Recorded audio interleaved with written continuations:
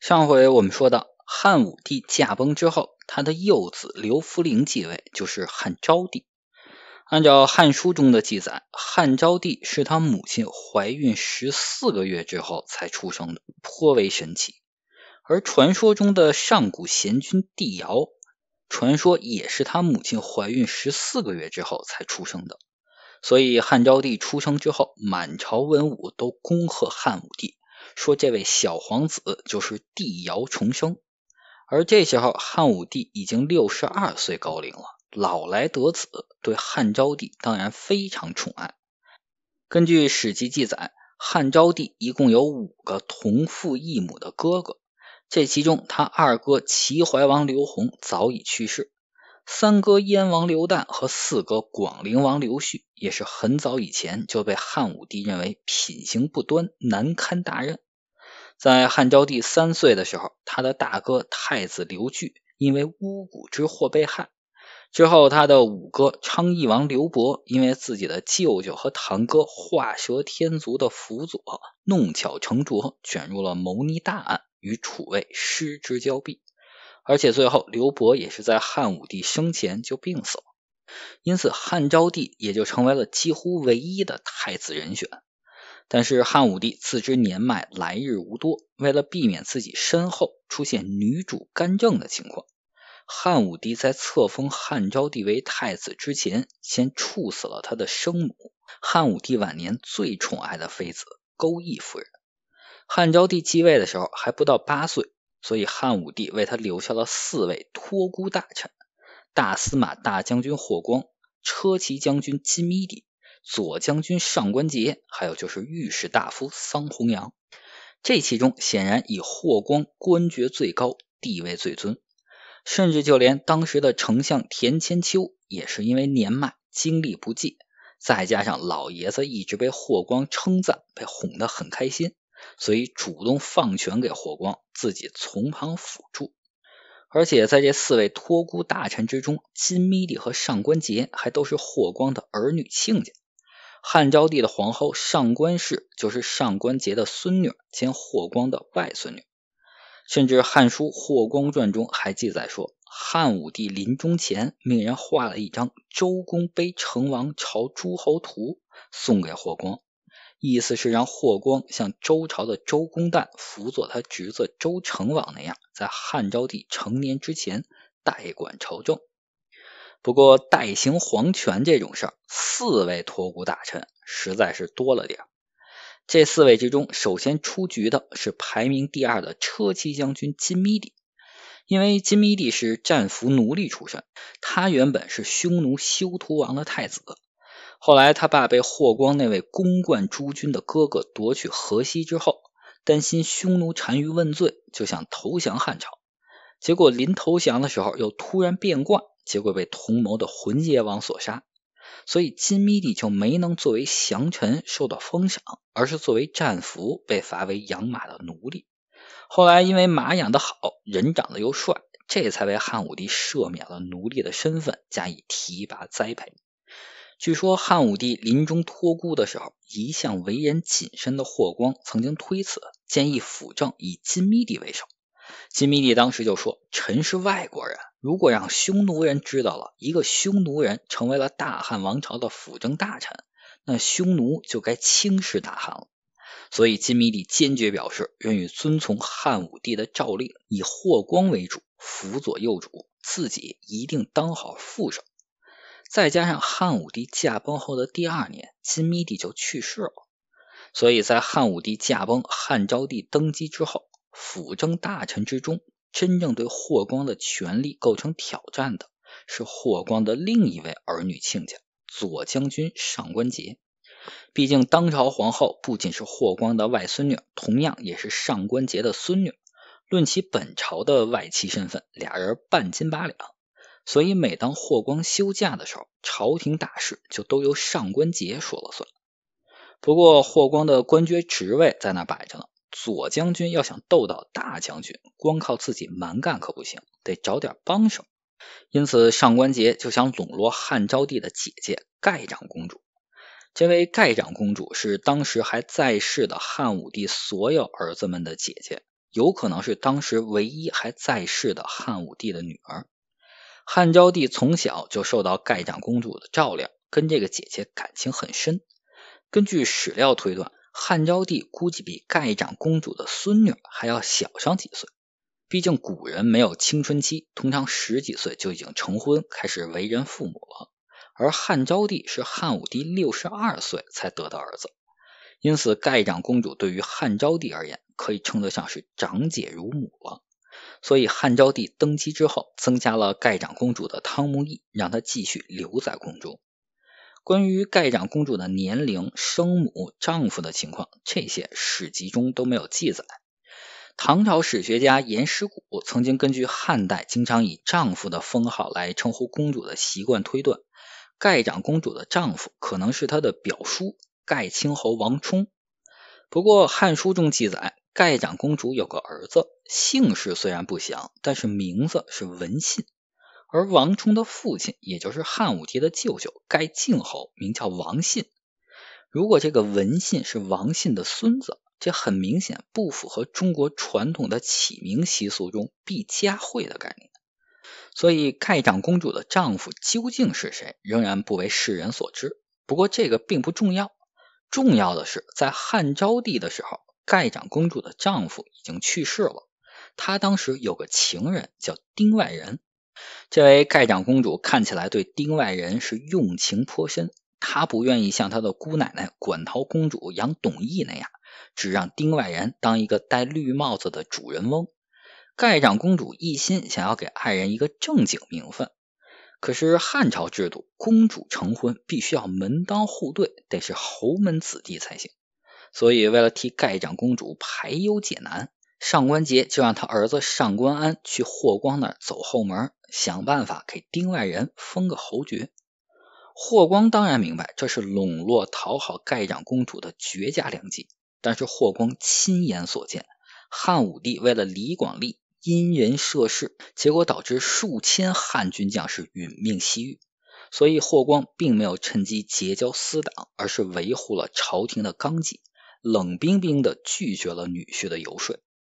也正是因为霍光心中对于大汉王朝体制的这份忠诚和坚持，这才使得尽管他生前屠戮政敌，废立皇帝，死后妻儿谋逆，家族诛灭。但是霍光本人却仍然能够名列麒麟阁十一功臣之首，被尊为大司马、大将军、博陆侯霍氏，乃至于西汉覆灭之后，霍光的功过是非和朝廷法统再无关系之后，霍光仍然被人们和商朝的贤相伊尹并称，而并没有被归入到王莽、董卓之流。根据《旧唐书》记载。唐太宗临终前曾经召见过长孙无忌等人，对他们说：“卿等忠烈，减灾振心！昔光武及霍光、刘备托诸葛，朕之后世，意义未轻。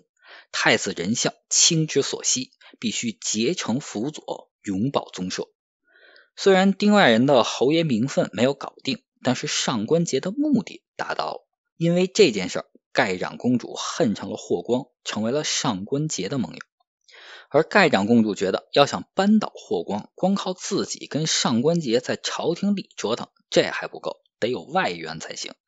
于是，盖长公主就秘密联系了她另一个弟弟燕王刘旦。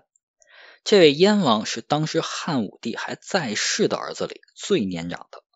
您别看他如今是亲王之尊。可他这时候已经是两番谋逆的造反惯犯了。当初汉武帝病重，刘旦认为自己是当时还在世的最年长的皇子，是皇位理所当然的继承者，所以他私自招募武士，调动燕国军队，要前往长安，说是要去护卫父皇。刘旦显然是吸取了他大哥魏太子刘据的前车之鉴，尽量最大限度的避免被汉武帝误会。所以他在出兵的时候，先专门派了个使者，快马加鞭赶去长安，给汉武帝报个信儿。汉武帝接见燕王使者，听他一番叙述，当然是勃然大怒。刘旦这点小心眼，在他父亲眼里可以说是洞若观火。而且自从七国之乱被平定之后，藩王就没有了调兵之权，即便是在封国之内也不可以。更何况刘旦还私自募兵，这明显算是造反啊！不过汉武帝也明白刘旦先派使者来先行通报的意思，再加上如今的汉武帝已经临近油尽灯枯的人生终点了，所以最终在派出使者勒令刘旦退兵回国，解散私募兵用之后，汉武帝并没有重处刘旦，只是削夺了他三个县的封地。汉武帝临终前的这点妇人之仁，给了刘旦一个错误的信号。因此，在第二年汉武帝驾崩之后，刘旦一得到消息，就立刻开始散布谣言，说汉昭帝不是自己的弟弟，是霍光的儿子，然后重新网罗亲信，准备造反。但是因为消息走漏，刘旦还没有正式起兵，就被得到消息的青州刺史带兵缉拿。这一次，朝廷更是顾及了他是汉武帝当时还在世的最年长的儿子这个身份，并没有处罚他，只是杀了一个准备起兵响应刘旦的远征宗室，作为对刘旦的警告。然而和上一次一样，刘旦丝毫没有吸取教训，反而是觉得自己这个皇兄身份俨然就是一道可以无限次使用的免死金牌。因此，在上官桀和盖长公主联系刘旦，表示要发动政变，废除汉昭帝，拥戴刘旦登基的时候，作为谋逆惯犯，刘旦欣然同意，再一次跃跃欲试了起来。而在这时候，朝中另一位辅政大臣桑弘羊也站到了霍光的对立面，不过比霍光和上官桀之间纯粹的争权夺势要高级不少。桑弘羊和霍光之间，那确确实实是实实在在的国策之争。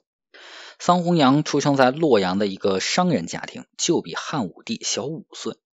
据说桑弘羊从小就很有算术天赋，心算之快之准，名扬天下。所以在他十三岁的时候，就被汉武帝征召入宫，担任侍中。之后，汉武帝连年对外征战，国库消耗巨大。然后，主管财政的大司农郑当时就向汉武帝推荐桑弘羊来解决汉朝当时的财政困难。桑弘羊就提出来对盐、铁、酒实行专卖。所谓专卖，简单来说就是政府利用行政手段独家垄断某种物资的贸易，以此来获取高额的利润。中国历史上最早的专卖可以追溯到春秋早期，齐国相国管仲。关山海的政策，桑弘羊的专卖政策推出之后，就一直遭到了朝野非议，被认为是与民争利。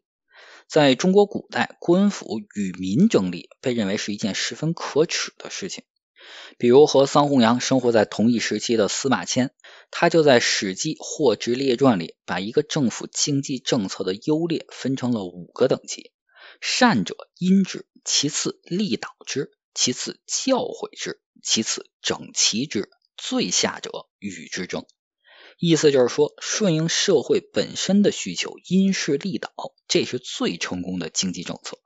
稍微差一点的，就是用利益去诱导；再差一点的，是用道德去说教；更差的是用法规去强迫；最差的就是政府直接下场出手，与民争利。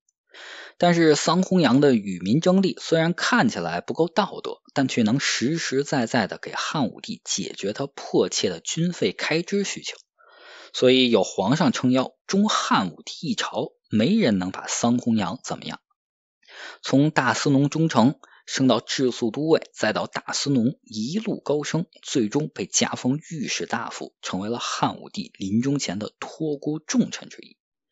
但是等到汉武帝驾崩之后，桑弘羊靠山不散，再加上身为首席辅政大臣的霍光，他觉得桑弘羊这位老爷子不如丞相田千秋好糊弄、好忽悠，哄哄就得。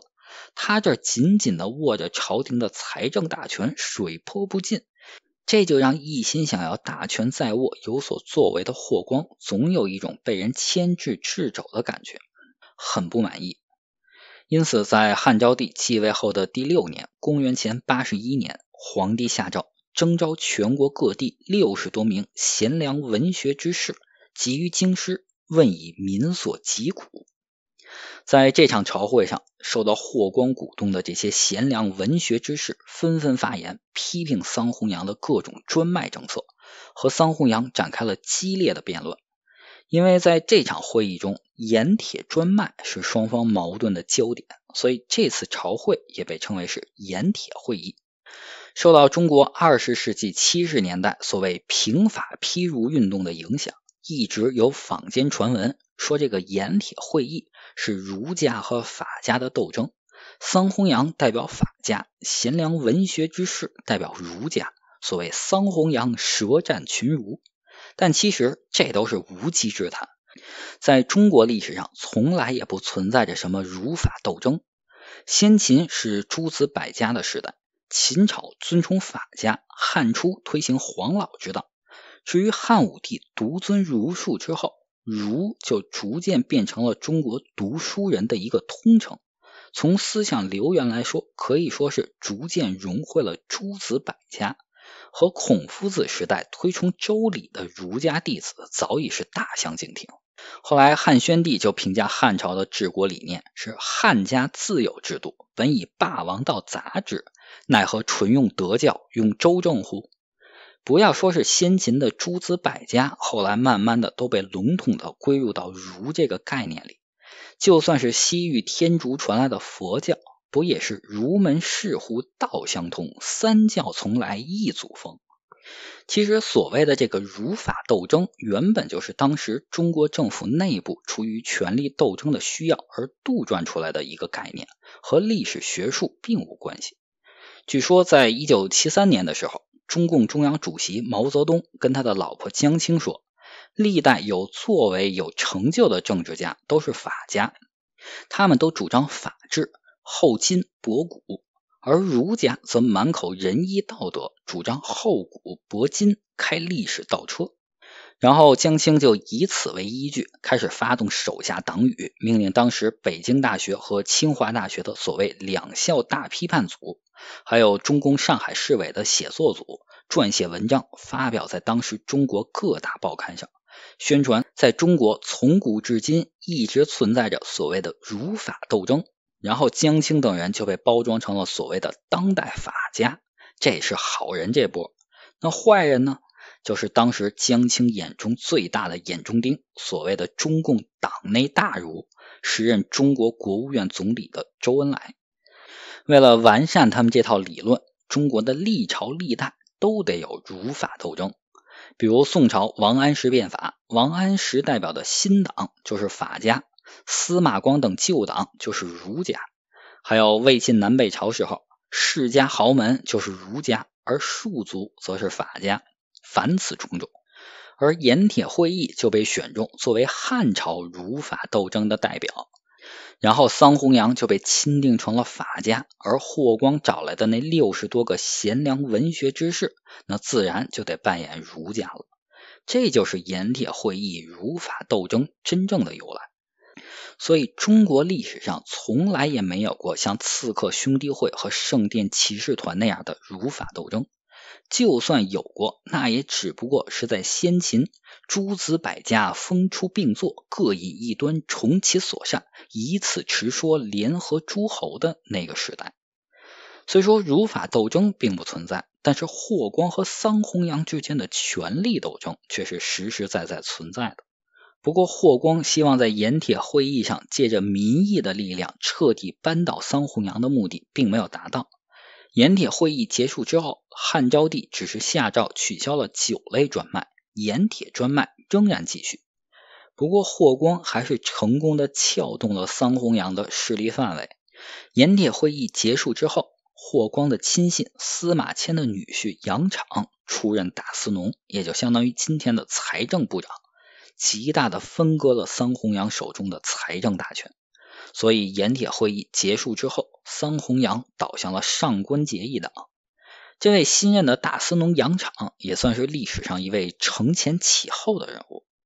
根据《后汉书》的记载，杨敞的四世祖是汉朝开国功臣赤泉侯杨喜。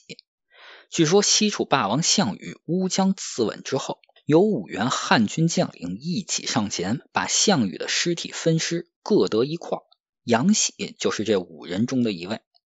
而成语“结草衔环”中“衔环”的故事，就来自于杨敞的玄孙杨震。从杨震开始，杨家四世三公，祖孙四代接连出任太尉一职，所以汉末三国时代著名的杨修、杨德祖就是杨敞的五世孙。据说后来隋朝的皇室也是杨敞的后代。汉昭帝始元七年（公元前八十年），也就是盐铁会议结束后的第二年。有人检举燕王刘旦和他的姐姐盖长公主勾结，密谋刺杀霍光，拥立燕王，篡夺皇位。最终，刘旦和盖长公主姐弟自杀。经过调查，辅政大臣上官桀、桑弘羊，还有上官桀的儿子上官安，也都参与了这场谋逆阴谋，因此全都被处死。汉昭帝的皇后上官氏虽然是上官桀的孙女，上官安的女儿。但是念及他年幼，当时才八岁，对父祖谋逆毫不知情，又是霍光的外孙女，所以不予追究。至此，汉武帝留下的四位辅政大臣金密帝病故，上官桀和桑弘羊以谋逆罪被杀，霍光终于大权独揽，成为了权倾天下的大司马大将军。不过，大司马大将军在处理朝廷政务的闲暇，还不忘关心一下皇宫中宫女的服饰。《汉书》上就记载说，霍光曾经要求宫中的宫女都穿穷裤。这穷裤是什么裤子呢？我跟您解释一下。中国古代的裤是净衣，就是给小腿穿的衣服。用今天通俗的话来说，就是开裆裤，因为他们会在裤子外面再套一层裙子。今天中文中“衣裳”这个词里的“裳”指的就是这种裙子，所谓“裳下裙也”。那什么是穷裤呢？这个穷裤就是死裆裤，差不多就是我们今天穿的这种裤子。因为这种裤子是穷人穿的，所以叫穷裤。那霍光又为什么要让宫里的宫女穿穷裤呢？因为这时候汉昭帝已经十四岁了，可是霍光的外孙女上官皇后。还只有八岁，为了避免汉昭帝在上官皇后成年之前先有了别的宠妃，甚至再弄出个庶长子来，威胁到上官皇后的地位。毕竟在素有后权干政传统的汉朝，上官皇后的身份地位对于霍光来说是和汉武帝托孤辅臣差不多的一种政治保护，非常重要。然而，尽管霍光为了外孙女婿的传宗接代费尽了心机，但终究天意不随人愿。公元前七十四年，在位十三年的汉昭帝突然病逝，年仅二十一岁。承蒙霍光的特意关照，没有留下任何子嗣。